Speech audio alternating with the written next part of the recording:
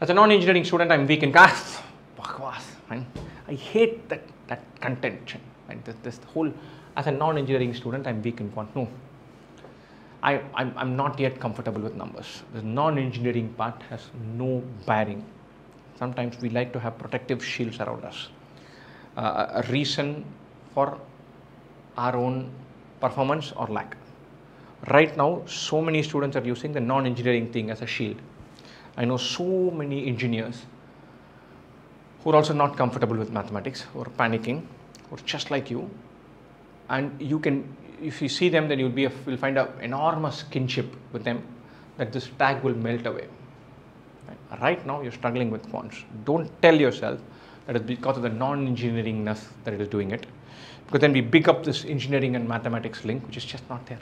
Speak to your engineering friend, they'll tell you, look, यार मेरा वो इंजीनियरिंग का मैथ और इसमें कुछ भी लिंक नहीं है कुछ और ही है that's whole lot different I come and solve this this geometry question i've not done geometry for 4 years just like you have not done geom- geometry for 4 years and my toolkit to handle this geometry question is vague weird right so the, the you can say i i'm struggling with quants start from scratch do tons of practice it'll fall in place don't let this non-engineering branding to hold back your ambition you should go toe to toe with everybody.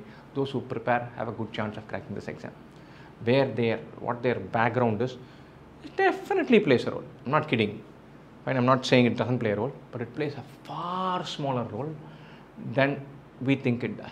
We brand ourselves and get conditioned by it. Don't. To clear sectional cutoff is arithmetic enough? 100% yes.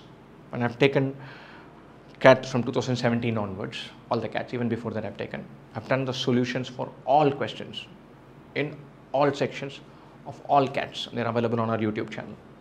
And, and I can tell you in every single CAT, every single slot, if you pick only the arithmetic questions and not do all of them, because two of them could be very difficult, do the doable ones among them, you're getting at least 88, 89 percentile. Go do the math, check with the percentile scores. Obviously, you can't do it for all of them. Take CAT 2022, take one slot, see the paper. Go to 2IIM website, see the paper. And then list down all arithmetic questions, just question numbers. And then say, look, these two are too difficult for me. Baki sat, so seven, remaining seven I will take. I have got it. That is 21 marks. Go to the percentile versus score thing. For that 21 marks, it will be more than 89 percentile any paper you randomly take two you will get to know exactly what i'm saying. 100% you can clear. Right?